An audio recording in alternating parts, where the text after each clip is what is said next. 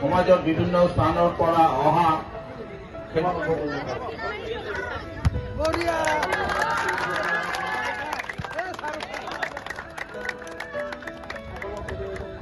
বাছনি কৰিম চাওক সমগ্ৰ অসমত বৰ্তমানৰ চৰকাৰখনে খেল মহাৰণৰ যি আয়োজন কৰিছে সেই খেল মহাৰণৰ আজি প্ৰথম প্ৰথম দিন।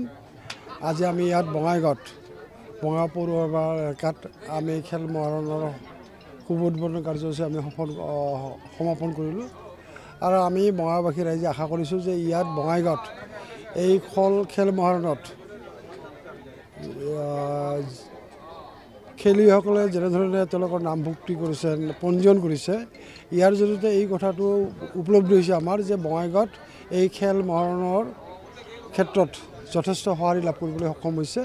আৰু আমি বঙাইগাঁও জিলাবাসীয়ে নিশ্চয় এটা প্ৰতিটো বিভাগ বিভাগত আমি সুদক্ষ খেলুৱৈ উদ্ভাৱন কৰিব সৃষ্টি কৰিব পাৰিম আৰু আমি এটা ভাল দল আমি উলিয়াই লৈ আমি ৰাজ্যিক ভিত্তিত আমি বঙাইগাঁও জিলাই সফল হ'বৰ কাৰণে সক্ষম হ'ম বুলি আমি বিবেচনা কৰিছোঁ বা আশা কৰিছোঁ।